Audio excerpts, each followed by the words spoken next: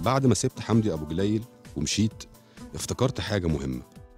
أنا بدور على معاناة الكاتب في العالم الثالث وناسي معاناة الكاتبة. أعتقد إن معاناة الكاتبة عندنا أكثر تعقيدا. جزء فيه له علاقة بالإبداع عموما وجزء فيه له علاقة بمعاناة المرأة عموما في العالم الثالث أخدت الفكرة ورحت للروائية شيرين سامي صاحبة الروايات الناجحة حنة وقيد الفراشة وطلبت منها تفصص معاناتها ككاتبة في العالم الثالث هو موجود برضو المشكلة المادية إن الكاتب بيبقى دايما الكتابه بتحتاج عزلة فبتحتاج إن هو يبقى مستقر ماديا يبقى فيه دخل ثابت ومكان ثابت هو بيكتب فيه. ف... فدي موجودة زائد كمان مشاكل تانية من الارث المجتمعي إن هو مزروع في خيال الناس آه، إن المرأة دورها الأبدي والأول والأخير هي ان هي تكون زوجة وأم. فبناء عليه اي أي مش مفهوم أي حاجة آه، بره أي الملعب قرار ده. بتحاول تاخده بره الموضوع ده بيعتبر نوع من التمرد أو إن هي عايزة تغير قدرها فبيحصل آه، صراع دايما ومصادمات من المجتمع ومن الناس حتى لو ما أظهروش ده لكن بيضمروه في أنفسهم يعني ما بيبقاش ظاهر لكن هم بيبقوا عارفين دايما بيتبص للمرأة لما بتكتب على إنها أنثى غير الكاتب لما بيكتب بيتبص له على إن هو كاتب مم. فدايما بتواجه المشكلة ديت آه، إن هي إزاي تتخلص من الإرث المجتمعي دوت وإزاي يبقى عن- يعني ليها حق إن هي تعتزل الناس في وقت إنها تكتب إن هي تاخد قرارات في حياتها. فدي دي مشكلة كبيرة يعني. دي مش ممكن تتغير بعد ما أكتب مثلا وأنشر كتاب النظره مش ممكن تتغير؟ لا بالعكس لأن هو دايما آه، الرجالة في برضه في المجتمعات الشرقية باصين للكاتبة باستخفاف شوية إن هي بتكتب كهواية لكن ما بتكتبش آه، لجدول الكتابه زي الرجل.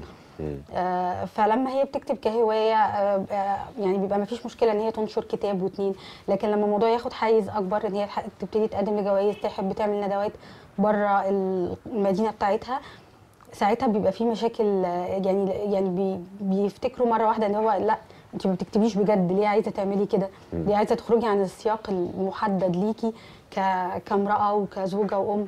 ف... فساعتها برضو بيبقى في صراع دايما. هو أصلا الكاتب بيبقى في صراع مع نفسه فده بيبقى صراع كمان زيادة مع نفسه ومع المجتمع. بالظبط هو بيبقى متعدد الشخصيات فده كمان بيزيد عليه ال- الصراع ده. لأن أنا بكتب روايات آه، فيها دايما بتكلم بصوت ذاتي. فكتير ناس آه، كانوا يبعتوا يقولوا لي هي دي قصتك أو لما أكتب مثلا نص فيه مشاعر يقولوا لي هو ده انت كاتباه لجوزك فاقول لهم لا فبيتصدموا لما بقول لهم لا. آه، أهلي نفس الحكاية آه، لما بكتب أي حاجة على الفيسبوك بياخدوها إن هي حاجة شخصية أقول لهم ده نص هم مش فاهمين. بيقروك أنت مش بيقروا المكتوب. بالظبط مش قادرين يفرقوا. لكن أنا قدرت أتخلص من الموضوع ده من كذا سنة مع الناس آه، على الفيسبوك لكن ما قدرتش أتخلص منه مع أهلي. فاضطريت إن أنا ما أخليهمش يشوفوا كل حاجة آه، بكتبها. آه كذلك لما بيصدر رواية أو عمل بيقروه وبعدين يبتدوا يستغربوا إزاي بنتهم آه الصغيره اللي مع خبرتها قليلة بتكتب الكلام ده. دي مشكلة أخرى برضو بت بتواجه المرأة في الكتابة إن الكاتب لازم يبقى خبرته واسعة و ليه علاقات ثرية مع الناس.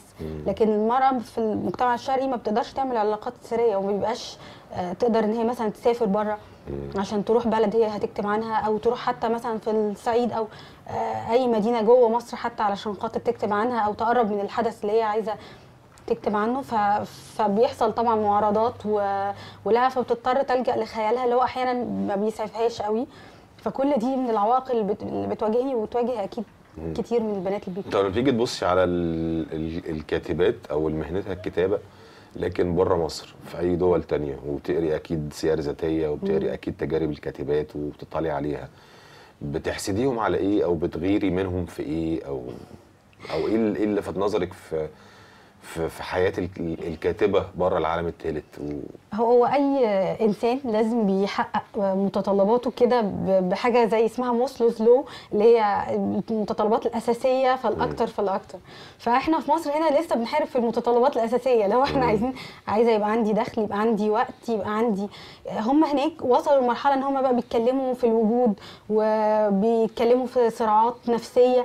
إحنا مش قادرين حتى إن إحنا نتكلم فيها لأن إحنا بنواجه حاجات لسه في الأول خالص. آه. فأنا بحسدهم على كده. هم هناك بيبقى في فرصة إن يوفروا لهم مربية لو هي أم آه، علشان تتفرغ للكتابة. بيبقى في لونز أو آه، يعني آه. آه، آه، حاجات مادية منح آه، علشان خاطر تعرف تكتب بدون ما يكون عندها عبء آه، مادي.